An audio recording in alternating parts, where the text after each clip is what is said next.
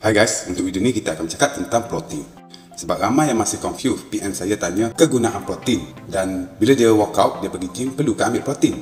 Kalau PM abang tanya pasal fitness tak ada masalah. PM laju-laju pun okey. Tapi janganlah PM tanya abang dah makan ke, abang dah mandi ke, abang dah ke.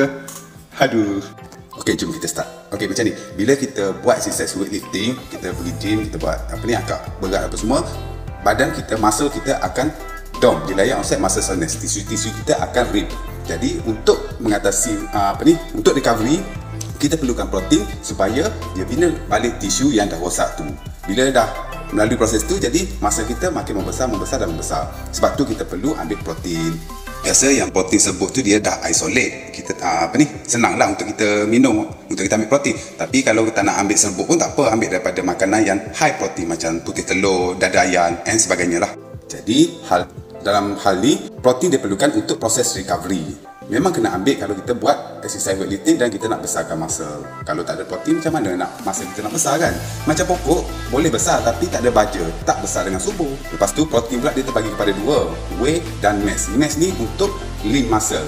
Atau untuk orang dah dapat size dia nak maintain dia nak rip dia ambil uh, apa ni whey protein. Dan mass pula kalau dia nak tambah size nak nak bagi masa besar apa semua dia akan ambil mass protein. Harap penerangan ringkas ni clear ke anda eh. Apa-apa PM je. Okay, sampai sini saja untuk video kali ini. Jumpa di next video.